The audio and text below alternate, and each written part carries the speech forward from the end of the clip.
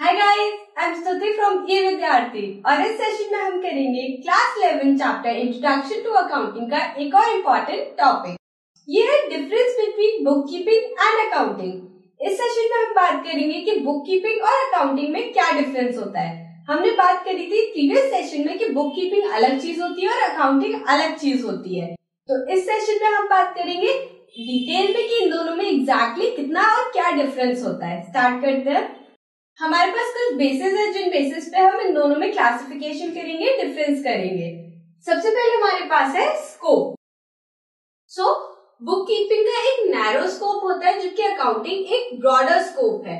मतलब book keeping narrow इसलिए है क्योंकि उसमें कम एक्टिविटीज़ होती है। उसमें सिर्फ़ बुक कीपिंग में सिर्फ़ identification measuring recording and classifying वाली एक्टिविटीज़ फोर एक्टिविटीज़ इंक्लूड की जाती हैं। जबकि अकाउंटिंग में ज़्यादा एक्टिविटीज़ होती हैं ब्रॉड एक्टिविटीज़ होती हैं।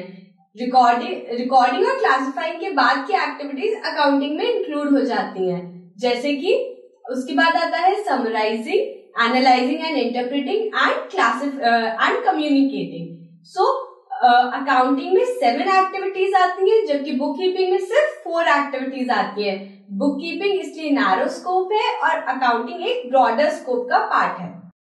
नेक्स्ट हमारे पास बेसिस है stage so book keeping is the primary stage क्योंकि ये काम पहले किया जाता है and accounting is a secondary stage जब हम बुक कीपिंग से फिनिश हो जाते हैं, उसके बाद हम स्टार्ट करते हैं अकाउंटिंग अकाउंटिंग वैसे तो बुक कीपिंग को इंक्लूड करती है बट फिर भी ये प्राइमरी स्टेज होती है और ये सेकेंडरी स्टेज होती है.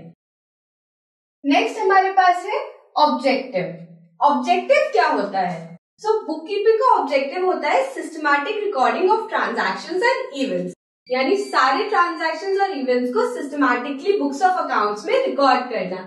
जबकि अकाउंटिंग का ऑब्जेक्टिव थोड़ा बड़ा होता है। अकाउंटिंग का ऑब्जेक्टिव होता है net results of operations and financial position को फाइंड करना। यानी जितने भी ऑपरेशंस हुए, ना सिर्फ़ उन्हें रिकॉर्ड करना, बल्कि उन्हें एनालाइज और इंटरप्रेट करके पता लगाना कि इसके नेट रिजल्ट्स क्या है। और at the end of the accounting period financial position of the business क्या है। सो so, ये सारे काम आ जाते हैं अकाउंटिंग में।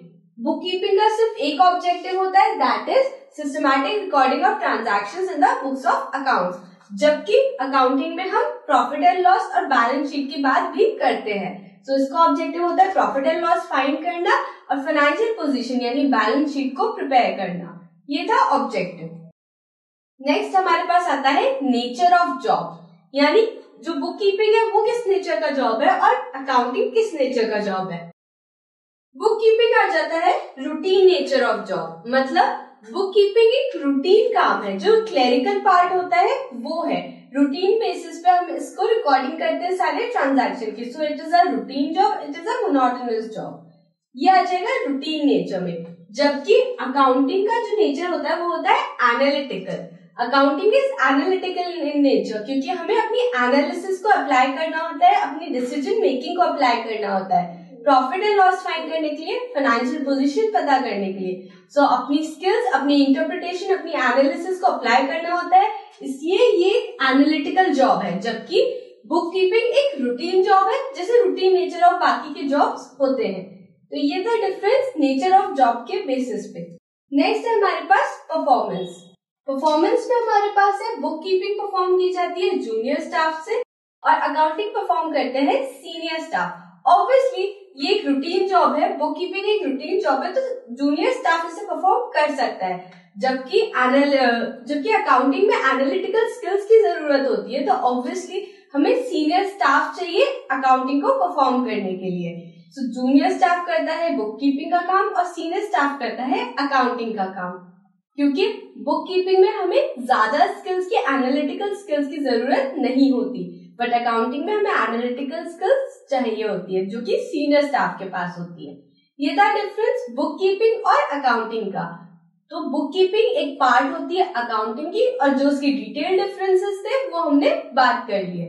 ये था डिफरेंस आई होप आपको समझ आया होगा एंड स्टिल अगर आपको अभी भी कोई डाउट है you can write us on the comment box and we will reply you as soon as possible Don't forget to subscribe our channel. Thanks for watching this video and bye bye.